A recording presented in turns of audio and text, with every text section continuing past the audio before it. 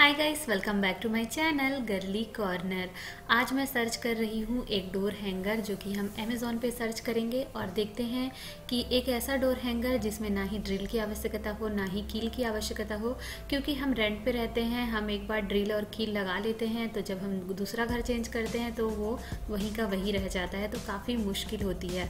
तो चलिए कुछ डोर हैंगर यहाँ पर ऑप्शन में दिख गए हैं तो चलिए हम अमेज़ोन चॉइस वाला ये वाला डोर हैंगर मंगा लेते हैं और देख देखते हैं कि ये कैसा है, घर पे आने के बाद ये कैसा दिखता है, ये सब हम आपको दिखाएँगे। और आपको ये लेना चाहिए या नहीं, ये भी हम आपको दिखाएँगे, ताकि जब भी आप लेने की सोचें तो पहले देख लें कि ये कैसे आया हुआ है और किस तरह का है।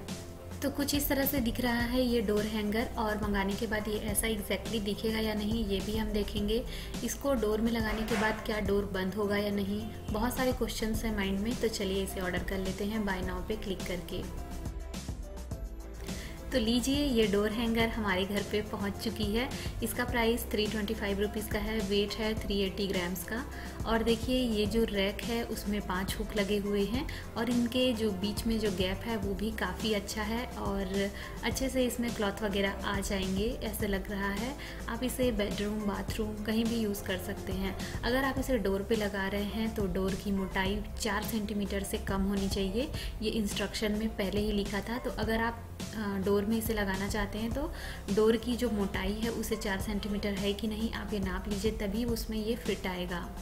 तो ये डोर हैंगर यूज़ करने में मुझे काफ़ी अच्छा लग रहा है, बहुत ही अच्छा है, बहुत ही ड्यूरेबल है, बहुत लॉन्ग टाइम तक आपको चलेगा ये और रस्ट प्रूफ भी है, इसमें जंग नहीं लगेगा। देखिए, हमें इतना अच्छा लगा कि हमने दो डोर हैंगर मंगा लिए हैं और इसे इस तरह से फिट करना है। इंस्टॉलेशन भी इसका काफ़ी आसान है और बहुत ही ईजी है और यूज़फुल भी बहुत है।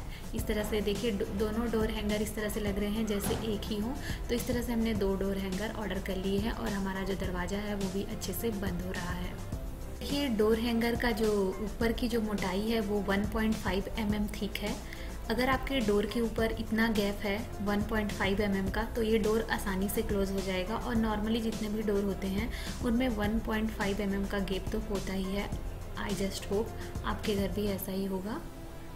ऐसा गैप इसलिए रखा जाता है ताकि बरसात के दिनों में जो लकड़ियाँ होती हैं, दरवाजे होते हैं, वो फूल जाते हैं तो दरवाज़ा बंद नहीं होता है। इसीलिए ये इतना अच्छा लगा मुझे कि आप इसमें कुछ भी रख सकते हैं। Purse, belt, tie, clothes, keys, umbrella और कोई भी हैवी चीज़ भी रख सकते हैं। इतना स्ट्रॉन्ग है ये।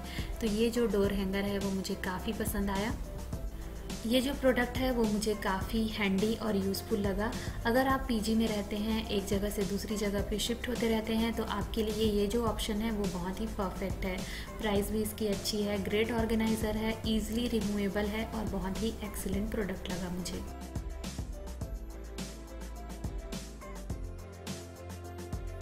ओके okay गाइस अगर आपको हमारा रिव्यू पसंद आया है तो हमारे वीडियो को लाइक कर लीजिए। चैनल को सब्सक्राइब करना मत भूलिए, ताकि जब भी हम कोई वीडियो डालें, आपको हमारी वीडियो मिलती रहे। वीडियो देखने के लिए आपका बहुत बहुत धन्यवाद।